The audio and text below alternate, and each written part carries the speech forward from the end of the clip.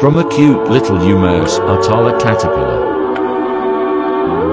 to the pretty Atala butterfly, this beauty was spotted at a Kihiu Nature Center. Its host plant, Coontie, is used in butterfly gardens like our butterfly gardens.